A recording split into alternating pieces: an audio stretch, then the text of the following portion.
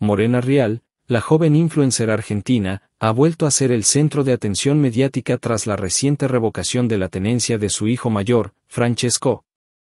Este anuncio, que se hizo eco en los medios el pasado lunes, ha desencadenado una ola de especulaciones y reacciones, especialmente porque la justicia de Córdoba decidió quitarle el derecho a convivir con el niño, provocando un verdadero escándalo en el mundo del espectáculo. La noticia no solo sorprendió a los seguidores de Morena, sino que también la llevó a expresar su frustración y dolor de una manera muy abierta.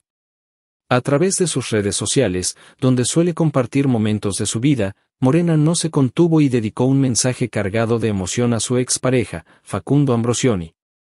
Con palabras duras y directas, lo describió como un golpeador y psicópata, reflejando el desahogo de una madre que siente que su mundo se desmorona ante sus ojos.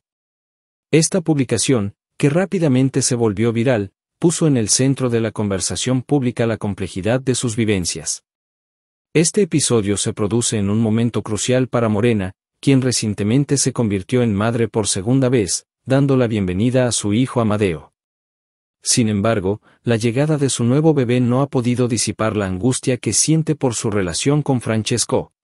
Desde el 6 de octubre, la joven no ha tenido contacto con él, lo que ha sumido a Morena en un estado de desesperación.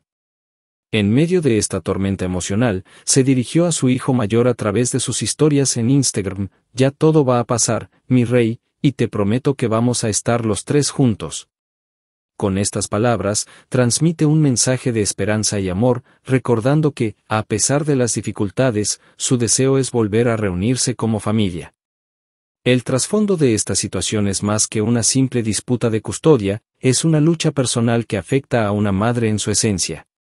La historia de Morena es representativa de muchos desafíos que enfrentan las mujeres en situaciones similares, donde la vida pública y la privada se entrelazan, complicando aún más las decisiones que deben tomar. La presión de ser una figura mediática se suma a la angustia de no poder estar cerca de su hijo, y esta combinación puede resultar abrumadora.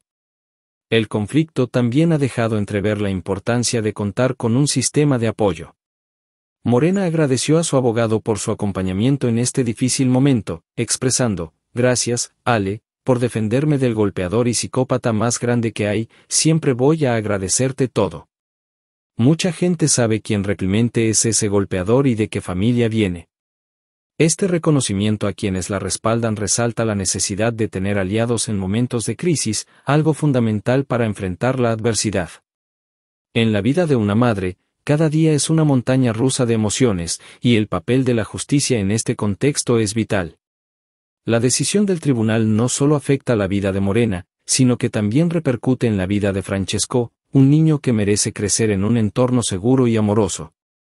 La lucha por la tenencia de un hijo no es solo un asunto legal, es una búsqueda de estabilidad y bienestar familiar, un deseo innato de brindar lo mejor a los pequeños, que muchas veces se ven atrapados en conflictos adultos. La situación de Morena Rial trasciende el escándalo mediático, es un recordatorio de las complejidades emocionales que enfrentan muchas madres en situaciones similares. La lucha por la tenencia de su hijo mayor, sumada a la llegada de su segundo bebé, pone de manifiesto la fragilidad de la vida familiar y la necesidad de encontrar un equilibrio en medio del caos.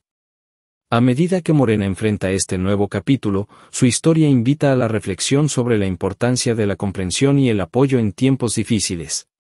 Más allá de los juicios y comentarios, detrás de cada figura pública hay una persona que siente, que ama y que lucha por el bienestar de sus hijos.